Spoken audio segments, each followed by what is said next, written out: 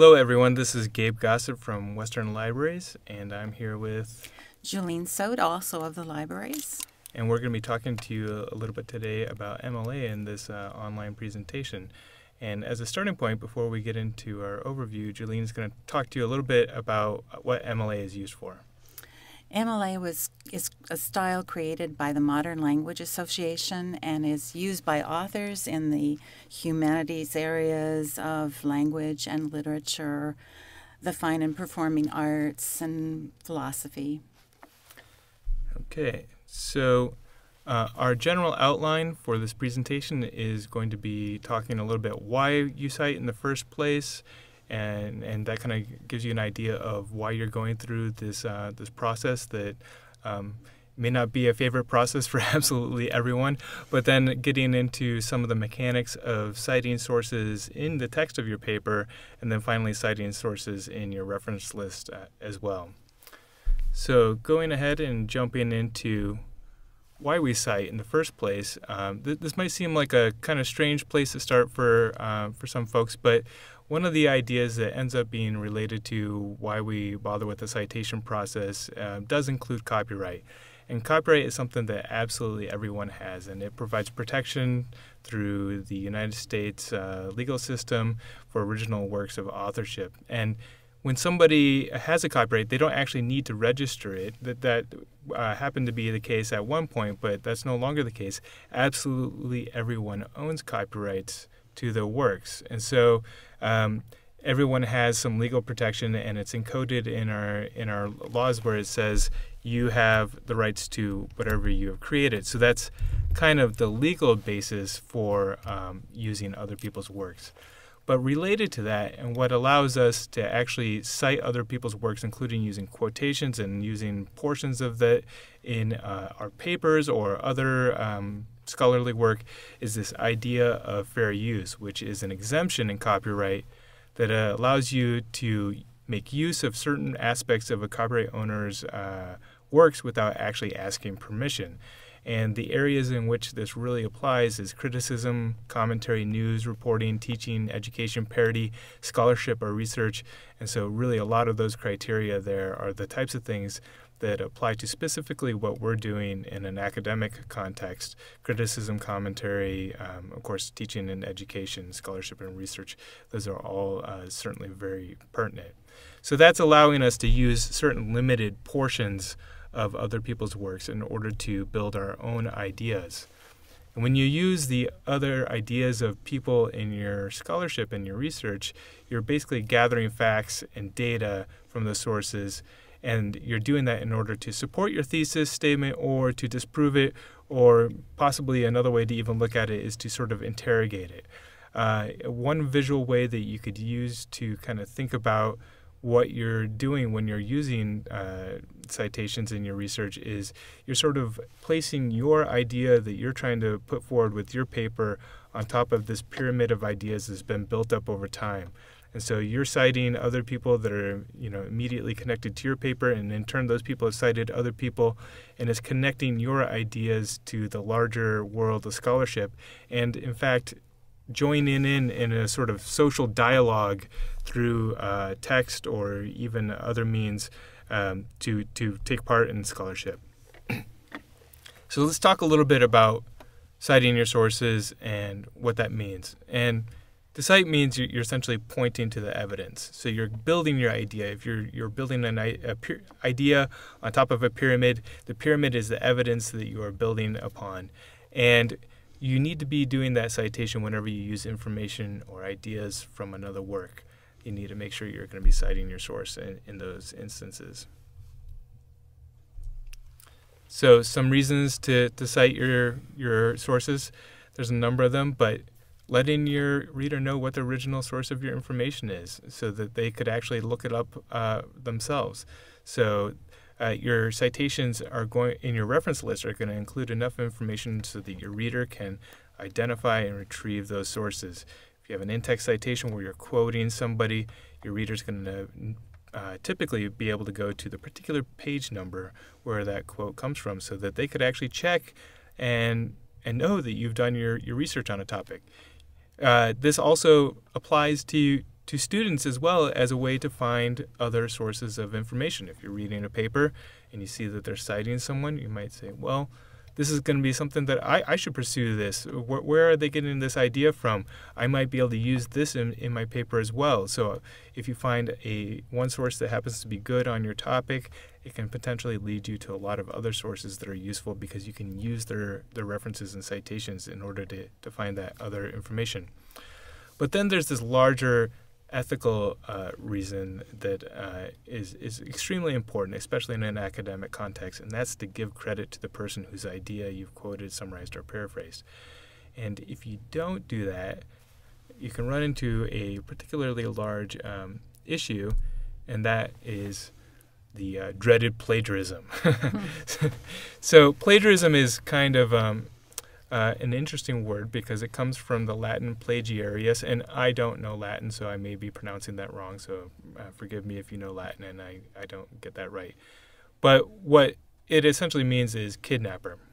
So uh, the the way of thinking about it that I like to put out there is when you plagiarize another source, you're essentially kidnapping that person's mm-hmm. ideas and taking it for your own, representing it as your own. It would be like uh, you write a paper; it's sort of your baby, your child, your your your thing that you put a lot of work into, and it's special to you.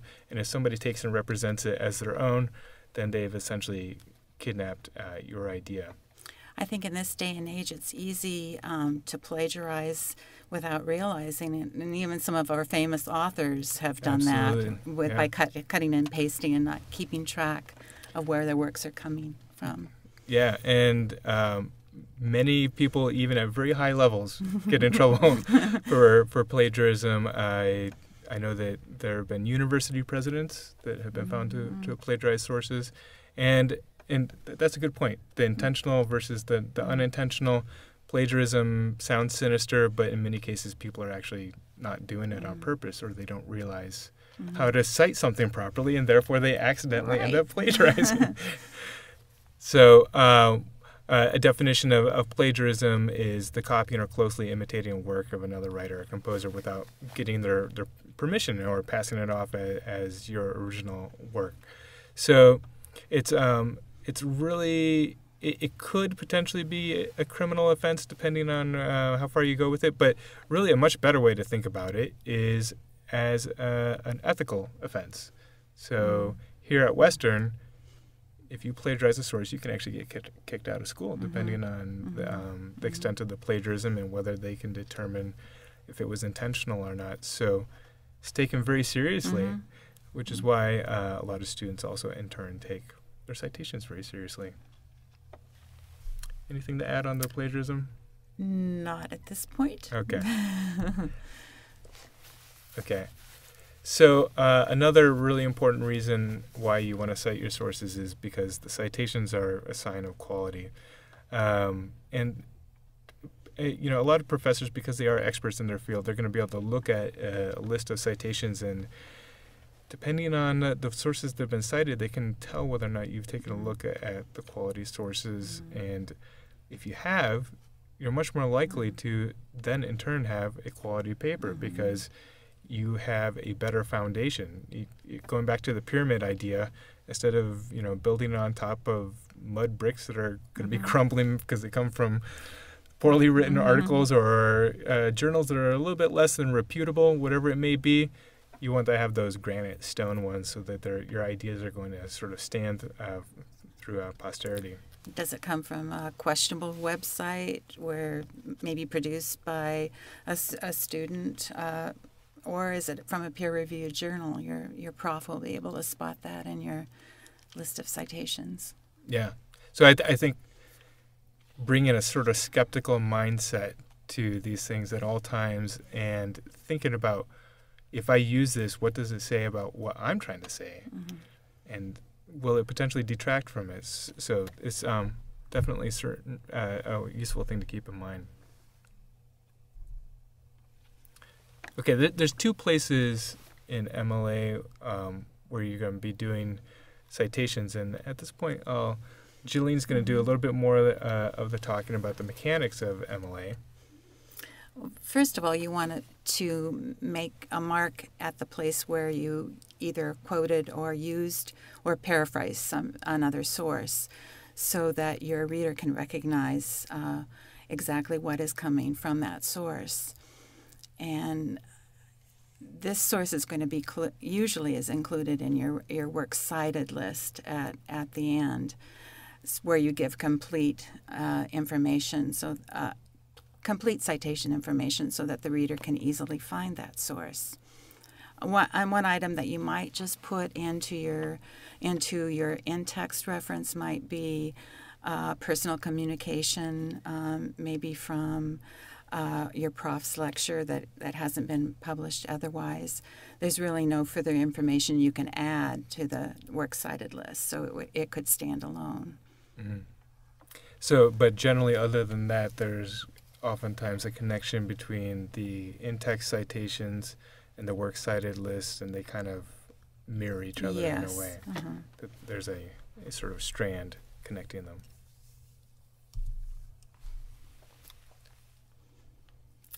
So, when do you need to cite? Um, well, you need to cite your sources when uh, you quote a so- source word for word, and this can might just be it might be a single word, a, a, newly coined word. It might be a phrase or or a sentence, or it might be something that you would put in a block quotation more than uh, for forty words.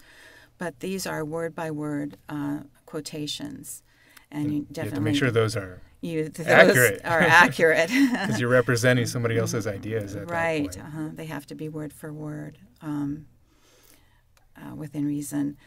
Whenever you paraphrase a, a source um, so you're uh, you're putting it into make sure you're putting it into your own language and uh, or when you use an idea from another source this is not a, your original idea you you are maybe building uh, your paper from that idea you need you need to to um, cite that source as well and one of the things that, that I like to point out about paraphrasing is that most people think of paraphrasing as just kind of a concise summary, but that's not necessarily what paraphrasing may mm-hmm. be.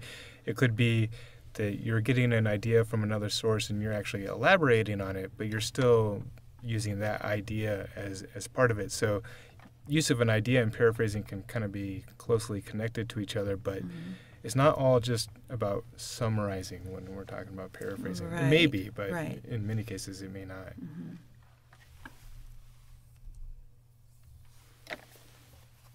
So, um, quoting your sources. Um, when you uh, quote your source, you need to make sure that you um, put in the page number in, in your text uh, to um, so that the reader can easily find the, the place where the exact quotation is located. And it's probably worth pointing out here too that in terms of the mechanics, the period is coming after the uh, the parentheses there where we have the in-text mm-hmm. citation and I, I, think one of the, the common mistakes that I, I see with um, citations is that the period is put before that but really that period mm-hmm. being beyond it is connecting the in-text citation to that sentence. That's right. And yeah so, attaching it to the sentence. Yeah yeah also I, i'd like to point out that with mla you have the author's name and, and the page number, the date is, is left out. This kind of highlights the, the focus on authorship that MLA uses rather than the, mm. the date and, and how current the information is. Yeah, some other citation styles would look very different. Chicago, you wouldn't see it at all necessarily. Mm-hmm, mm-hmm. uh, APA, you would have a date in there because there are different values mm-hmm. for for that.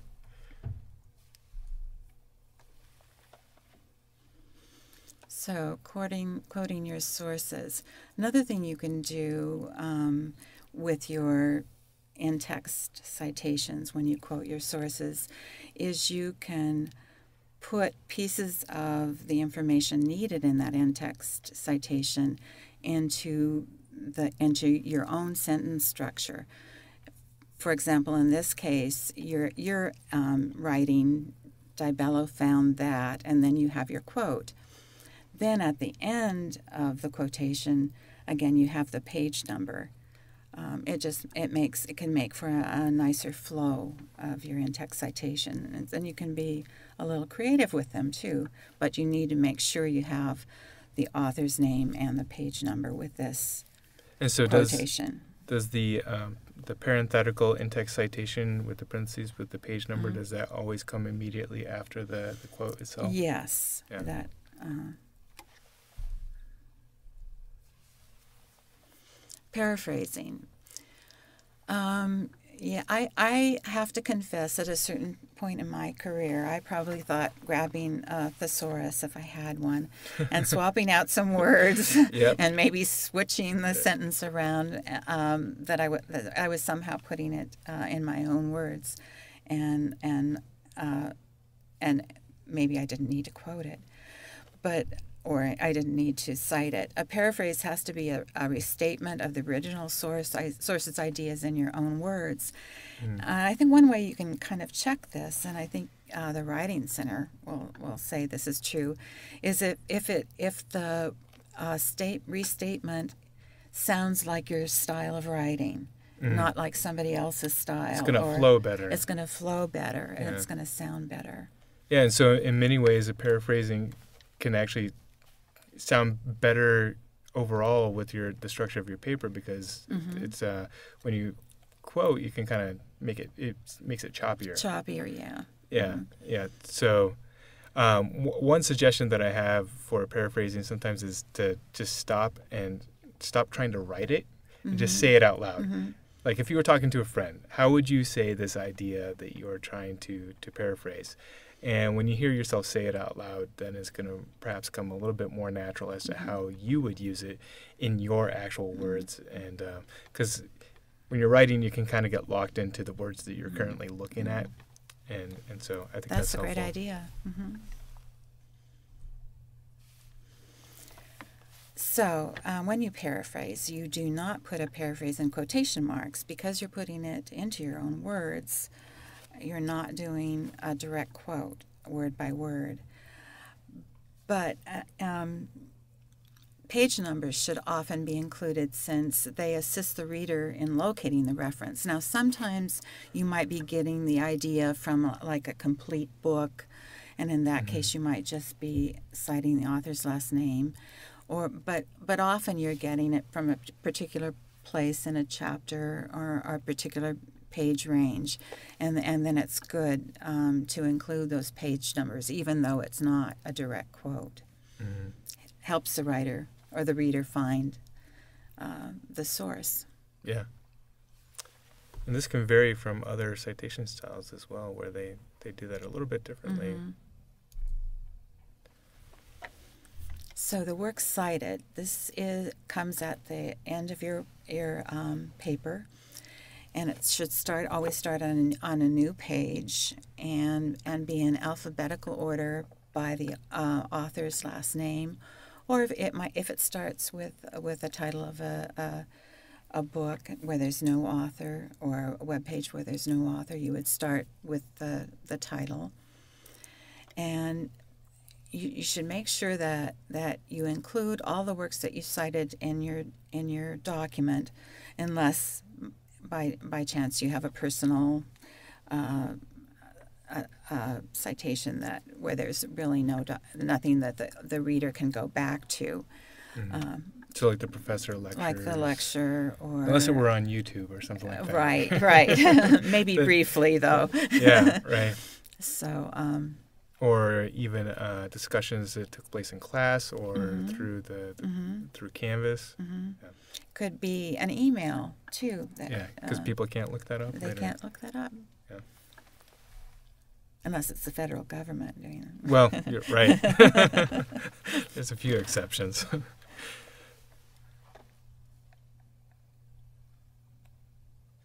Uh, reference list citations. Okay, all the information about the publication you need to identify. Um, in, include author, title, publication information, date, and and maybe some other publication uh, information. Now, every citation may not have. Uh, uh, there might, might be some missing pieces, but you should at least look um, for each of these items to include in, in your citation. And I, I tend to think that um, the trickiest part or the, the least consistent part between different types of sources is the publication information part of it. W- would you mm-hmm. say that it, that's probably a fair characterization? Yeah, in the in the format that it's put in your yeah, it starts citation. changing if it's a journal article versus mm-hmm. a book versus mm-hmm. a book chapter mm-hmm. versus YouTube videos or whatever. Yeah, a lot be. of students include uh, that they have to include uh, publication information in a uh, publisher information in a journal article, and and you don't. Yeah. Yeah. but you would for the book. but you would for the book. Yeah. Yeah. yeah. Speaking of which. And citing books, yes. Um, uh, pretty straightforward. And one one difference that MLA does between if you've used APA before is the first author has her has her last name and then first name but the other authors are you enter the authors just as they would come first name, uh, last name. So again, I think that kind of emphasizes authorship a little bit. Use the mm-hmm. last name to find so that you can find your um, reference in the cited reference list from your in-text reference, and then the other authors are are, con- are included as you would speak them. Um, title of book, place of publication, publisher, date of publication. And I think one cool thing about if you've used this book from a, a, a library source or from a summit uh, book request, and you have a piece of that information is missing, you can go back to the library record and um, pick up the publication information. So here's a screenshot from OneSearch, mm-hmm. just mm-hmm. pointing out where you can find all those pieces of information. Mm-hmm trying to have that mm-hmm. book on hand book anymore. In all in the different the title field, the author field, um, place of publication and publisher and date is is all there. You can pull it out of the record. So it's not likely to be formatted exactly the way we see it here, but no, you will have to, do. It. You're still responsible for yeah. the formatting, but yeah. Uh, so it can be handy um, as a reference. So, citing books, pretty um, uh, straightforward. Author, title, publishing information. Uh, one in- interesting thing about MLA is it wants you to tell them whether the item came in print or or electronically or some other format. So they ask they ask you to put the format when it's a book, usually at the end end of the citation. And I, I think the the small things are, are the things that sometimes um, trip up students, and depending on how strict the instructor mm-hmm, is, mm-hmm. it can end up impacting uh, the mm-hmm. grades. So, the italics on the title, you want to make oh, sure the, you get oh, that right. right. Yeah. Um, yeah. Sometimes the capitalization, if you were copying it from mm-hmm.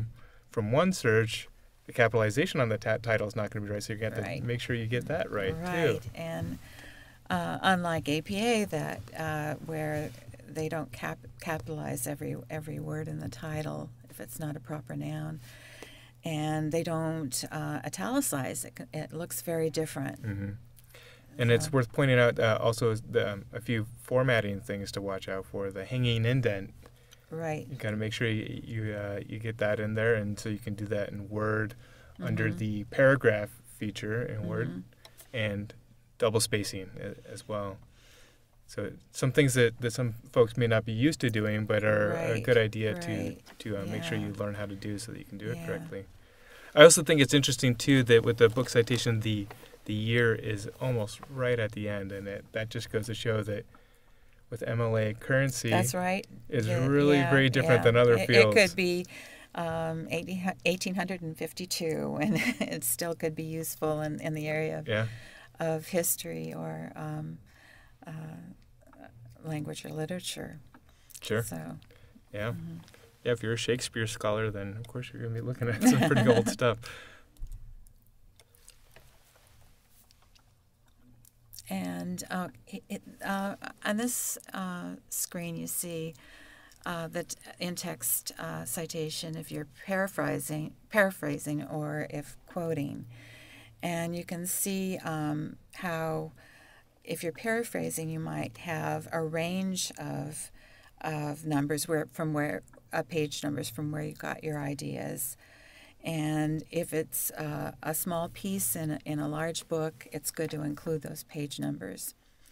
But if you uh, if your uh, quotation kind of came sprung or your ideas that you got from the book came kind of came from the the book as a whole or a chapter as a whole or an article as a whole, you might just use the author's last name. But if you're quoting, you always want to include the specific page number that your quote came from. Mm-hmm.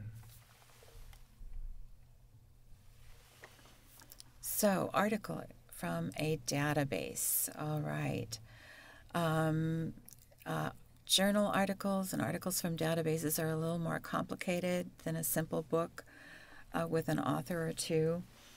Um, you want want to be able to identify your authors and your article, your journal title. In in the case of um, here's a here's a difference. In the case of a journal citation, your journal title, the name of your journal, would uh, should be in parent, uh, in italics, while your article title is going to be in quotation marks.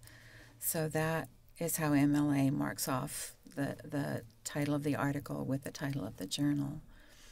Um, you want to note the page numbers and volume and issue number two. Although, um, if there's not an issue number, usually it, it doesn't matter as much because the paging is usually continuous in a volume. So it starts it, on page one in January and right ends and on page who knows what in, in December. December yeah. yeah. typically. So, so, it won't hinder the reader from finding that um, article. And uh, and an, another kind of a little difference with with uh, MLA right now asks that you um, indicate the database that the article was retrieved from too. In this case, it's an MLA, Interna- International Bibliography Database. So we have an example here. And here is a put, nicely put together citation for your cited reference list from a journal article in an online database.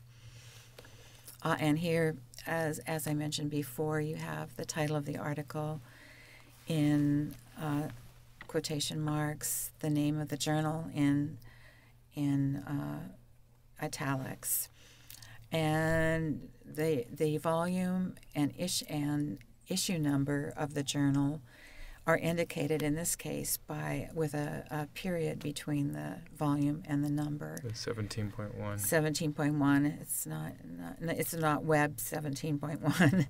it's volume seventeen, issue number one. Yeah, and so it's kind of interesting with uh, with MLA that they they don't use the word volume or the abbreviation volume or anything mm-hmm, for issue mm-hmm. because people just know mm-hmm. who are familiar with it, with MLA that mm-hmm. that's what each of those numbers means based on the formatting, so it can be more right. concise in a way. It becomes mm. code. Yeah. In a sense. Yeah. And then, of course, the the page numbers. And then you, you're the listing of the database where the article was found full text. And again, instead of print now, we have web to indicate the format of, of the item. Not internet, web. Web, yeah. yes. And, and then, to end it all, the date you viewed uh, the article or retrieved the article for your use. Not to be confused with the date of publication. Of publication, yeah. And it's easy to confuse. Mm. Yeah. Yeah. So, citing the journal article in print uh, looks much the same. You have your authors, and again, note the second author is first name, last name, whereas the first author, last name, and then first name, so that you can find it in the cited reference list uh, italics for the title of, of the journal. Uh, the name of the journal is, oh, uh, not italics, but quotation marks around the article title. The name of the journal in italics. And again, you have that 13.1 for volume, and issue number. Volume 13, issue 1. And then you have the date and the page numbers. And then to top it all off, uh, you have the format, which is in print.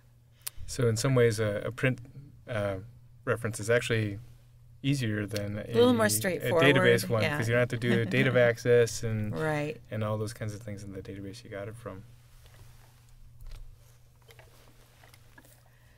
So, according to MLA, um, we have a list of the items that you uh, need to cite when you cite a web page. Now, this is a we're entering into an area that where students I know have a lot of difficulty in how do you cite a particular web website. I swear there are millions of different kinds of websites with different ways. Uh, with different looks and feels and, and different ways Can't that always they, find that information on the, the page you're on. no, you can't. And um, so you can. What you want to go for are as many elements uh, as you have in your particular website page that you're using. Hopefully, hopefully you'll have some authors. Often you don't. You might have um, a corporate author, uh, a, a page created by an organization that that might be a, treated as a corporate author. Yeah, and so just to clarify what a corporate author is, is if we were citing Western Washington University eh, on one of their pages and we didn't see an author listed, we could assume the corporate author is Western Washington University. And, and that's what we mean by corporate author. We don't mean a uh, for profit corporation No, necessarily. We just mean any organization can be referred Right. to as a corporate author. rather than an individual or a group of individuals. Uh, document title, um, probably you'll have no trouble with that one. Title of website, sometimes you, your search might land you straight in a document title, and you might have to go back to the root of that web website to find the, the title of the, the website. And that certainly will help the, the reader find the, the information. Publisher often this is is the I could be the organization that published the information. The National Institute of Health for example is a publisher of all sorts of information on on the web uh, date of publication. Uh, this can be ki- kind of tricky and hard to find. Um, sometimes it might be if you have a document web on, on a website it might be at the bottom. It might might say updated on and you could use that update date. Sometimes you if you go back to the um, original uh, website that that um, has published the, web page is part of. web page is part of Yeah. you'll find uh, information about uh, when it was published there. And um, but but you, I think sometimes you find they're just you know you've looked high and low, you've done given it your best Uh-huh. shot, and you just don't don't see any date of publication. hmm Um, date of access, you should know that. You should know what day it is. Hopefully, that should be easy. Al- Although, um, no stress if, if you've used the information and you can't find and you didn't jot down the date you found that website.